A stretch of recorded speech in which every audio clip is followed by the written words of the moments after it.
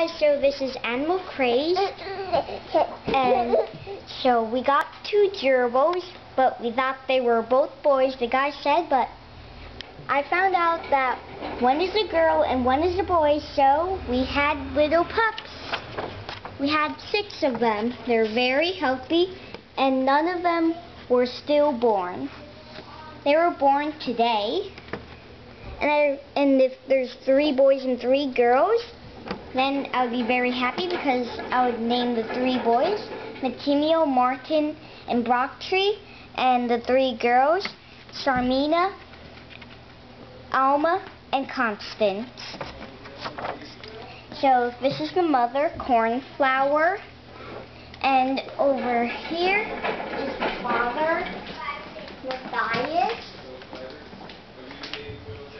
I'm hopeful that we at least have one black baby.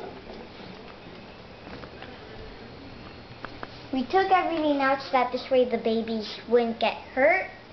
And and you can keep the father in, but they right away, like an hour after. So here they are. She is now she's not plump anymore because yes, yesterday we just separated them. So if you like this video, press the like button. If